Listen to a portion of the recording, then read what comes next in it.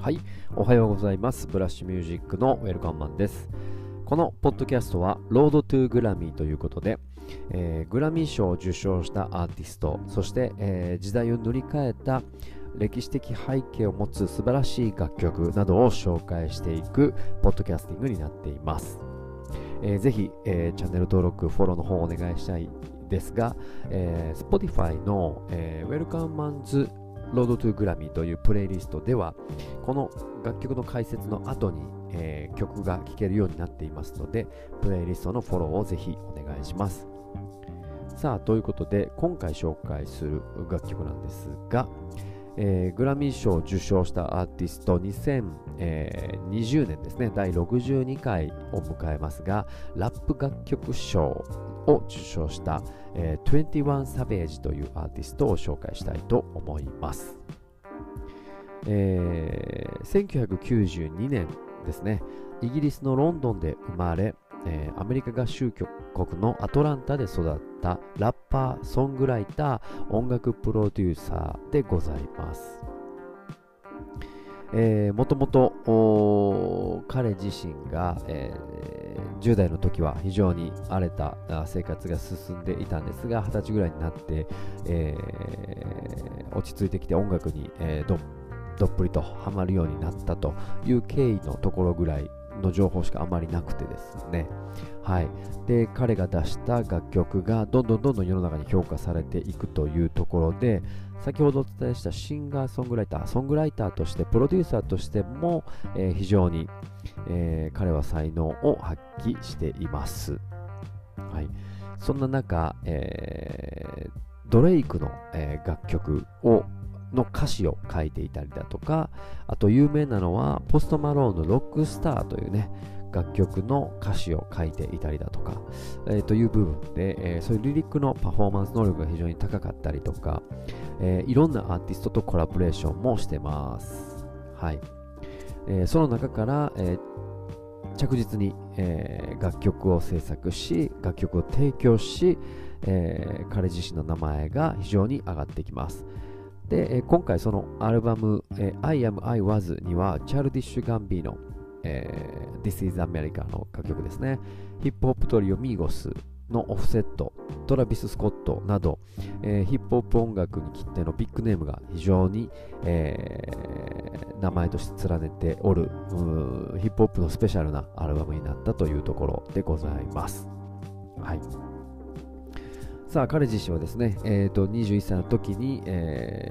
麻薬の、え、売人をした時があったそうで、え、その時にですねちょっともう、まあ、あの麻薬の売人のところでトラブって6発ガンで撃たれたと。その時に親友が亡くなっているというエピソードがあるぐらい、まあ、荒れた生活をしつつも、え、音楽活動をずっとしていたと、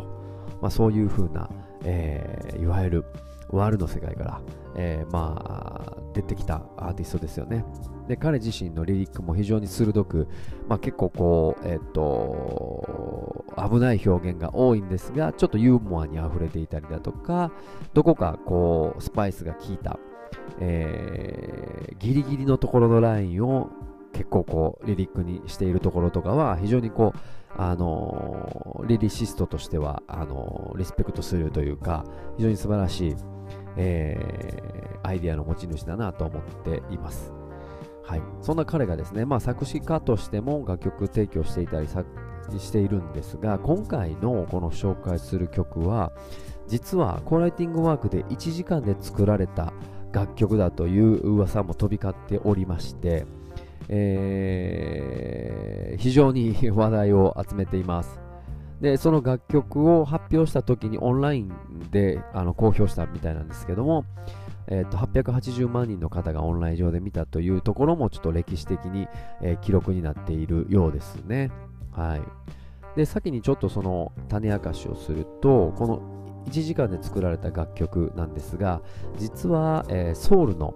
The Fuse I Love You for All Seasons っていうねえー、素晴らしい楽曲をサンプリングしそこにまビートを乗っけてラップしたという、まあ、シンプルな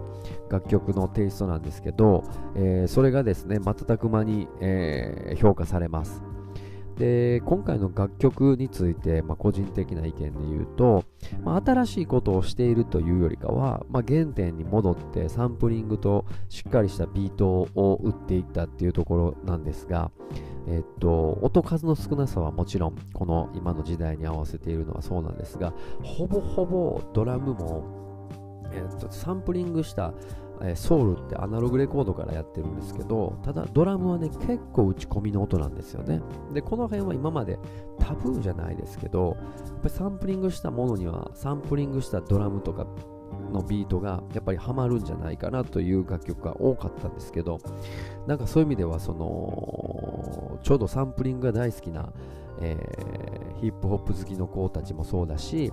トラップ、ヒップホップのね、今最近多いトラップ系と言われる、えー、打ち込みがメインになったね、オートチューンズとかで割とこう声を変化させるようなヒップホップのシーンの人たちもドハマりするという、なんかすごい合間のところに、えー、っと直球投げたなという意味ではあ楽曲のその時代背景としては上手だなと思いました。はい曲自体もねそんなに長くないですしシンプルなビートが続いてラップをしていくんですが、まあ、改めて原点回帰というヒップホップのシーンと、えー、そしてこの、えー、っとサンプリングとトラップミュージックが、えー、融合した、えー、クラシック的なね、あの作り方なんだが、えやっぱりこれが今でいう最新だという認識をさせてくれる楽曲になっております。はい、それでは改めて楽曲紹介したいと思います。えー、グラミー賞62回、えー、ラップ楽曲賞を受賞しました21 Savage Futuring J. コールで A Lot どうぞ。